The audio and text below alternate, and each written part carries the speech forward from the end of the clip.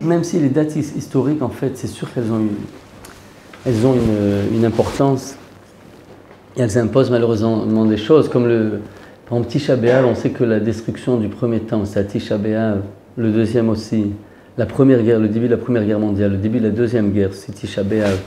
Euh, les explorateurs, quand ils sont venus, qu'ils ont pleuré pour rien, c'était aussi à Tisha. Donc c'est sûr qu'au niveau temps, c'est pas pour rien ces trois semaines. Euh, pourquoi pas deux, pourquoi pas six, pourquoi à ce moment-là, pourquoi pas en janvier.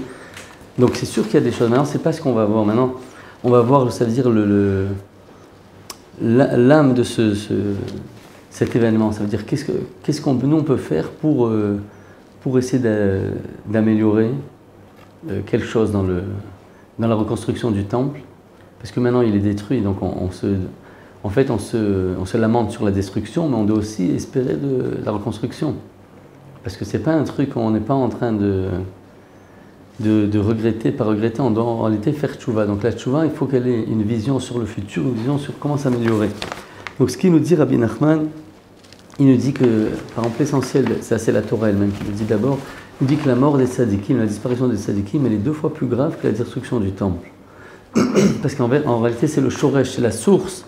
Après, au niveau physique, Hachem, il va mettre sa colère sur euh, des pierres euh, des pierres, du bois, le, et c'est une bonne chose, on dit. C'est une bonne chose qu'il ait, qu'il pu détruire le temple plutôt que détruire Shalom, le peuple d'Israël. Mais malgré tout, maintenant, comment on peut faire pour qu'il le reconstruise et qu'il ne le détruise pas?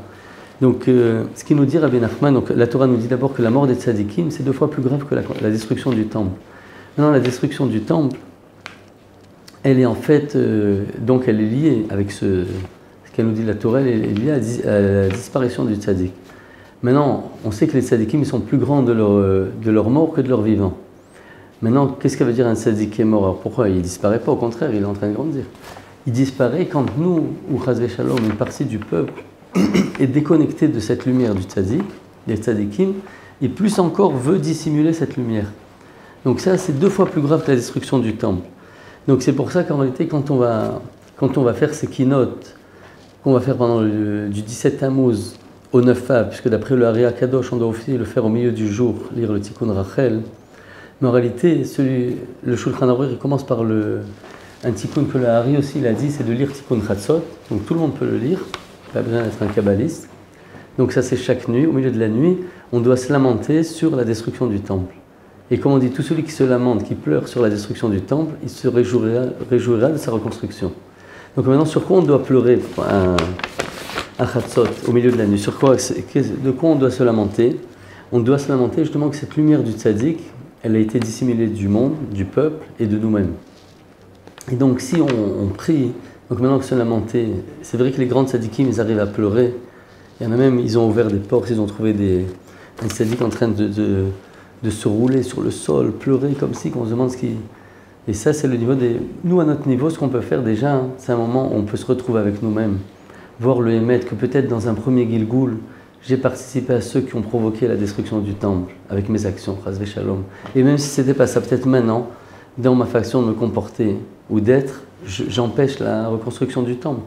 Donc j'ai une, je dois faire une, me remettre en question personnellement pour justement arrêter mes fautes essayer de faire un, changer mon comportement pour recevoir cette lumière du tzaddik qui va, parce qu'on dit le tzaddik, celui qui a le roi Hakodesh, le, Kodesh, l'inspiration divine. Et euh, grâce à ça, il peut, il a la névoie, le roi Hakodesh, et il peut, avec ses paroles et ses enseignements, nous purifier la jusqu'à ce qu'on ait une Imona pure dans le monde, et on arrivera à le PR Tachat Efer. C'est quoi le PR PR, c'est la splendeur. On dit qu'Hachem va transformer, c'est les mêmes lettres en fait, le, PR, il va y avoir la splendeur, à la place du FR, c'est la cendre, la destruction du temple. C'est-à-dire quand on va se rapprocher de ces tzadikim, on va croire en eux et on va étudier leurs enseignements et les diffuser dans le monde, on va en fait dévoiler la grandeur du tzadik et la splendeur, le PR, et de ses enseignements, et on va annuler cette destruction qui est la cendre, la destruction. Voilà, Bizrat Hashem.